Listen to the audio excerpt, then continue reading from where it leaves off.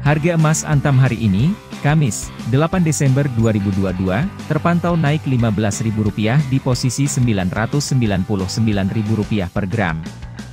Berdasarkan informasi dari Unit Bisnis Pengolahan dan Pemurnian Logam Mulia Antam, harga dasar emas 24 karat ukuran 1 gram dijual senilai Rp999.000, naik Rp15.000 jika dibandingkan dengan perdagangan sebelumnya, Rabu, 7 Desember 2022.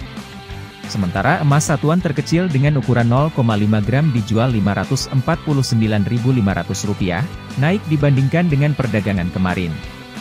Selanjutnya, untuk harga emas 24 karat ukuran 5 gram hari ini dibanderol Rp4.770.000, sedangkan emas batangan dengan satuan 10 gram dijual dengan harga Rp9.485.000. Sekian harga emas untuk tanggal 9 Desember 2022.